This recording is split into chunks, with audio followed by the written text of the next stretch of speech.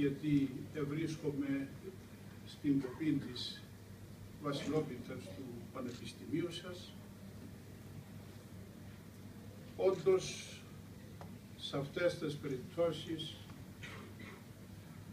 εκφράζομαι ευχές και για την χρονιά να πάει καλά και στην περίπτωση τη δική σας το Πανεπιστήμιο Νεάπολης να ανεβαίνει συνεχώς.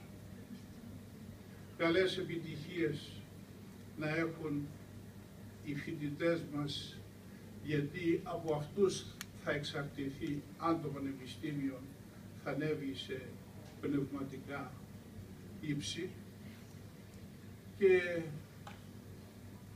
να ευχηθώ παρόλο που δεν το πιστεύω για το εθνικό μας θέμα.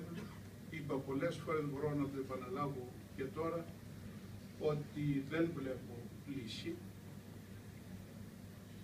γιατί οι Τούρκοι τα θέλουν όλα και αυτό δεν θα έχουμε λύση.